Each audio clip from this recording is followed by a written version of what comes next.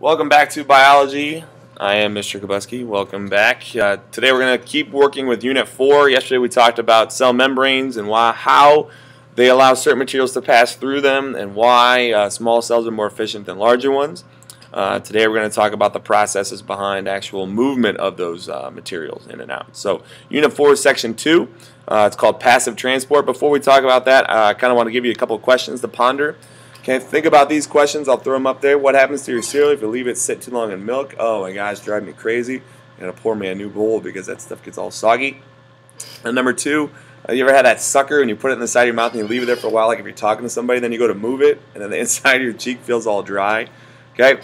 Uh, if I sprinkle sugar onto my strawberries, when I finish eating my strawberries, at the bottom I always have that juicy uh, pink, like sugary stuff left behind. Uh, okay, if some someone passes gas in the room, especially in the classroom, trust me, I realize it, kids. I don't know if you guys do or not. Okay, but I realize it. Okay, because it spreads throughout the room. So I usually spray. Uh, and that also will spread throughout the room. Now, what do all these situations have in common? Well, they all have something to do with one, something moving, okay, either from um, from one area to another. Okay, that's basically what it means. Okay, this is known as passive transport, which we're going to talk about today. Okay, passive transport. What is that? Okay, well, it means that particles move from areas where there are several of them to areas where there are few. Okay, in my example here. Okay, I've got my left side here, which is at, at the beginning, and not right now, obviously, because I'm trying to talk about it. But in the beginning, has several of these little purple dots on the left side, and then over time, they spread to where, an area where there are a few, and then by the end they're spread evenly throughout the whole thing. Okay, This is known as moving from high concentration to low concentration. High concentration because there were more purple guys on the left side than the right side in the beginning. Okay, This is known as moving down the concentration gradient, going from high to low, so I go down the gradient. And a concentration gradient just means the difference in the amount of substances across the space, left side to right side in this case. Okay. So, question for you: Does this process require energy? Did I need to do anything special to start these things uh, on their merry way? No, they, I don't. Okay, let me give you another example. Okay, so I've got my semi truck here. Okay, uh, let's say he's going to go from high concentration or the top of a hill to low concentration of dirt, which is the bottom of the hill. Okay, let's honk the horn. Where's my horn? I got no horn. Try that again. There's my horn. Okay, so I got my semi. He's rolling along. He comes to the top of a hill. Now, let's think about it. To get to the bottom of a hill, is he going to have to use lots of gas or a little bit of gas? Okay. Well, he's a truck, so in order to get started, he's going to have to use some gas. But once he gets rolling down that hill, he didn't have to use much gas at all, okay? Because he could just let gravity do the work for him because he was going from high to low, okay? This obviously is not diffusion or passive transport, but it kind of illustrates our point because we're going from high to low without using energy. Okay? So passive transport is movement across a cell membrane that requires no energy from the cell. That's why it's passive. You don't have to do anything to get it to work. Substances move down a gradient from high to low, and that will continue until we reach equilibrium, which means that the smell of your air freshener or the water in your cell, whatever, is spread evenly throughout the entire space. This is why when you spray an air freshener right at the beginning, it's always really strong and concentrated in your area, but then over time, the smell isn't as strong because it's being spread throughout the entire room. It isn't that it's leaving or that it's gone, it's just that it's now more spread out, and that therefore uh, the, the scent isn't going to be as strong as when they were all compact together. Okay? Think about it like in a car would be another example. Okay, As if you put a new air freshener in a car, you leave all the windows closed. Okay, that that smell is stuffed in there, can't go anywhere. But if I open all the windows, that smell is going to be gone, so it's not going to smell as strong inside the car again. Uh, equilibrium is just when the amount of substance is equally distributed throughout space. Examples would be Kool-Aid and Febreze uh, because they don't require any energy other than to start the process uh, because these are man-made things. Okay, so a couple of examples of passive transport. Here I have my orange solute. Okay, they're going to, to diffuse in water. Obviously my high concentration is left, low concentration is right, so they will move until they evenly spread. Another example would be if I have two solutions or two solutes. I have the purples on the left, oranges on the right. So both sides are high concentration but of different things. So they will spread evenly until they're evenly distributed amongst one another. Okay. Now there's three types of passive transport, diffusion, osmosis, and facilitated diffusion. Diffusion is the simple one. It's just the simple idea that we move from high to low concentration until we reach equilibrium. It could be anything. Uh, it could be, like we said, all the different things we've talked about today. Uh, perfume is a good example. That's the reason that they put perfume in the front of department stores facing out towards the mall. It's because that smell will diffuse out into the mall and cause customers to go, oh, that smells good. What's that? And then want to go buy that perfume. Okay, I know uh, your Hollister stores that you guys like to go to, they do that a ton too. Uh, they actually purposefully do that, and that way that smell permeates out and uh, and leaves and, and go reaches you through diffusion out in the mall and want to go buy things from that store because it smells good. Okay.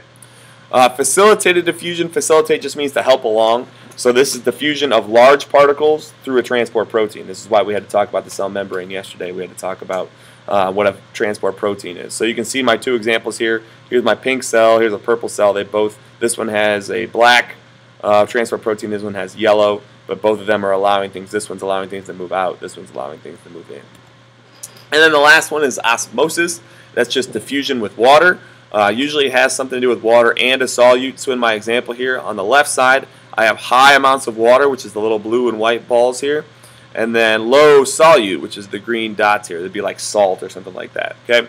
On the opposite side, I have a lot of salt, but not a lot of water. So my water is going to move from left to right, okay, and then my solute is going to move from right to left. Okay, they should move at the same time and move evenly until they're evenly distributed.